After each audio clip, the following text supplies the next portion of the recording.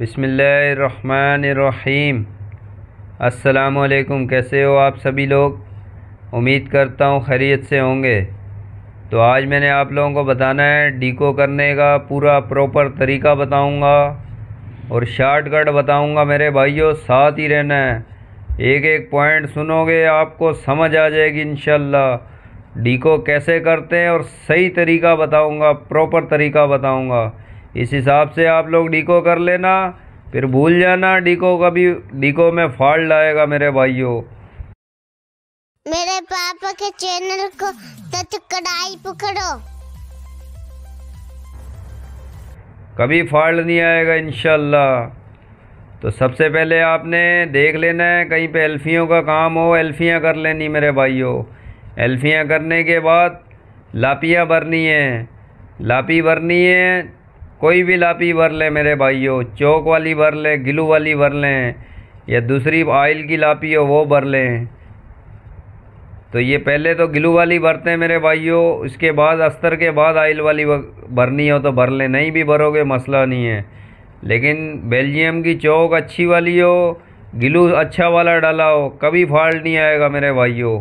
उसके बाद आपने रेगमाल करना है, रेगमाल दबा के करना है कहीं पे निशान नज़र नहीं आए, पेन का या मार्कल का या ये वाली कंपनी की। ये आपको नज़र नहीं आनी चाहिए, कहीं पे भी अगर लाइट कलर करना है, आपने वाइट करना है, ऑफ़ वाइट करना है, कोई भी। लाइट कलर पे अगर ये नज़र आ गया, अगर छोड़ दिया आपने रेगमाल नहीं लगाया सही करके तो वो ऊपर आता रहता है मेरे भाइयों। जितना भी कलर डाल लो, वो ऊपर आ जाता है। पेन का निशान भी ऊपर आ जाता है। मार्कल का भी ऊपर आ जाता है। देखमाल करने के बाद अभी अस्तर डालना है। अस्तर आपने नीचे की साइड पे भी डालना है। ये बिल्कुल नीचे की साइड है मेरे भाइयों साइड बोर्ड की। नीचे से डाल लोगे अस्तर, नमी कभी नहीं आएगी आपके आइटम के अंदर। ये डबल आर्ट डालना है, ये तो मैं एक आर्ट डाल के दिखा रहा हूँ आपको। डबल कोट अस्तर का डाल दें, सही भर के अगर डाल दोगे, एक कोट भी सही भर के डाल दो, मसला नहीं है। नीचे से आपका बिल्कुल सेफ़ हो जाएगा आइटम कभी नमी नहीं आएगी इन तो ये अस्तर डालने के बाद अंदर बाहर हर जगह पे डालना है अस्तर। ये देख लो आप लोग, इधर दराजे आनी है, ये जगह छुपने वाली है। लेकिन आपको बोलता हूँ, कोई जगह छुपने वाली भी हो, आपने छोड़ना नहीं है। बैक साइड भी देख ले आप लोग, बैक साइड पे भी अस्तर डाला हुआ है मेरे भाइयों। अस्तर आपने हर जगह पे डालना है, कोई जगह छुपने वाली भी हो, मसला नहीं है। तो अस्तर आपने बिल्कुल क्लियर डालना है। अस्तर डालने के बाद, उसके बाद ये फिलिंग देख लो फिलिंग करनी है मेरे भाई, ये पहली फिलिंग हो रही है। पहले आपने टक टक लापी भरी थी, सौ का रेगमा लगाएँ, साठ का लगाएँ, मसला नहीं है। उसके बाद अस्तर डाल दिया, अस्तर डालने के बाद फिर लापी भरनी है, आपने फिलिंग मार देनी है। अभी पूरे आइटम की फिलिंग मार दें आप लोग, मसला नहीं है। उसके बाद इस पर रेगमाल लगेगा 220 नंबर का मेरे भाइयों। 220 नंबर का रेग माल मारना है, आपने दबा के मारना है। ये जो अस्तर का जाला होता है, जाला रहना नहीं चाहिए। बिल्कुल स्मूथ होना चाहिए, क्लियर होना चाहिए। आपने रेग माल दबा के मारना है और अस्तर डाल के छोड़ देना है इसको एक दो दिन के लिए।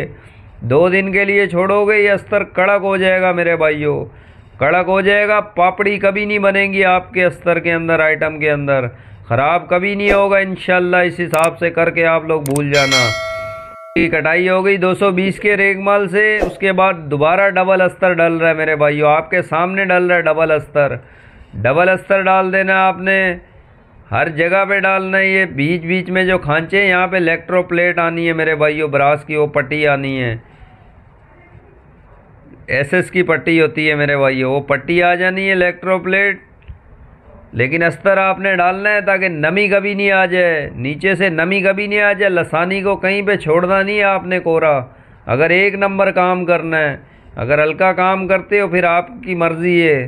कहीं पे लगाना है, लगाओ, नहीं लगाते, नहीं लगाओ।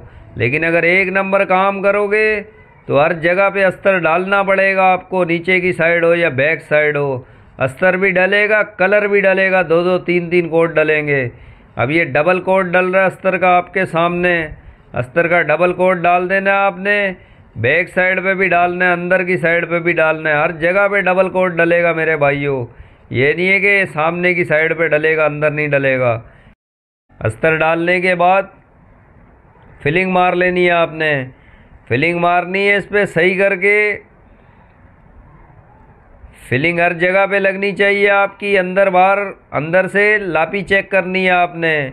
अंदर टक टक लापी चेक करनी है, कोई खड्डा नहीं रहना चाहिए आपका। उसके बाद आपने इस पर कटाई करनी है 320 के रेगमाल से ये देख लो आपके सामने लगा रहे हैं। 320 का रेगमाल मारना है, ये भी दबा के मारना है, जाला नहीं रहना चाहिए मेरे भाइयों। और जाला नहीं रहना चाहिए और लापी लापी की लहरें नहीं रहनी चाहिए। बिल्कुल क्लियर कटाई होगी तो आपके कलर जो है ना, कलर बिल्कुल क्लियर आएगा। अगर कटाई मोटी मोटी मारोगे हल्का हल्का रेगमाल लगाओगे, कलर क्लियर नहीं आएगा, जाला आएगा मेरे भाइयों। बिल्कुल स्मूथ नहीं होगा कलर। तो ये एक नंबर काम का मेरे भाइयों, जो एक नंबर आइटम होता है, उस पर मैं बताता हूँ आपको। जो एक नंबर काम करते हैं, उसका बताता हूँ मैं आपको हाई क्वालिटी का काम। जो नॉर्मल करते हैं, वो नॉर्मल ही करते हैं। लेकिन जो काम भी अच्छा करता हूँ, मैं उस आइटम पे आपको दिखाता भी हूँ और बताता भी हूँ काम का।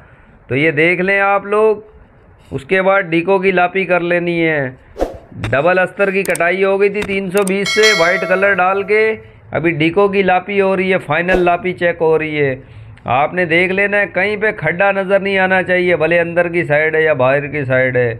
हर जगह से ये देख ले, कोने पे खड्डा था हल्का सा वहाँ पे लापी भर देनी है आपने। उसके बाद फिर आपने 400 का रेगमाल मारना है। 400 का वाटर पेपर मारना है, दबा के मारना है, हर जगह पे लगना चाहिए आपका रेगमाल।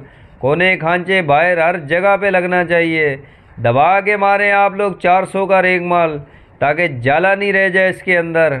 जाला नहीं होगा, कटाई दबा के हुई होगी, बिल्कुल क्लियर हुई होगी। तो इन ये जो है ना, हर चीज़ आपकी क्लियर हो जाएगी मेरे भाइयों। तो ये देख लें आप लोगों ने, बाहर से भी कलर डाल दिया। अंदर से भी कलर डालना है और ये हल्का सा ऑफ़ वाइट रखना है कलर को। ऑफ़ वाइट कलर हो वाइट कलर हो, आपको बोलता हूँ, नीचे जो है ना बेस जब रेगमाल लगाना है पेन का निशान नहीं हो मार्कल का निशान नहीं हो, या शीटों की कंपनी का जो छपाई होती है, वो नहीं नज़र आनी चाहिए। बिल्कुल रेगमाल आपका क्लियर होगा तो इन ख़राब नहीं होगा, नहीं तो वाइट कलर डालते, झलकता है कलर नीचे से, अगर कोई भी पेन का निशान लगाओ मार्कल हो, कुछ भी हो। जितना मर्ज़ी कलर डालते रहो, निशान नज़र आते रहते हैं। ये देख लो, कलर डाल दिया, हल्का सा ऑफ़ वाइट डाल दिया। आपके सामने दराजों वाली साइड पे नीचे भी डाला है कलर।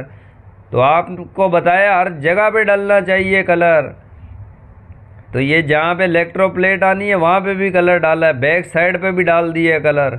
तो दो दो तीन तीन आठ डाले, बैक जितना सामने डाल रहे हो, बैक साइड पे भी डाल दें बाकी बैक साइड पे कहीं पे लापी वापी हो, मसला नहीं है। आपने खाली कवरिंग करना है, ताकि नमी कभी नहीं आए। ये देख लो, पूरे हर हर आइटम पे कलर डल गया है मेरे भाइयों।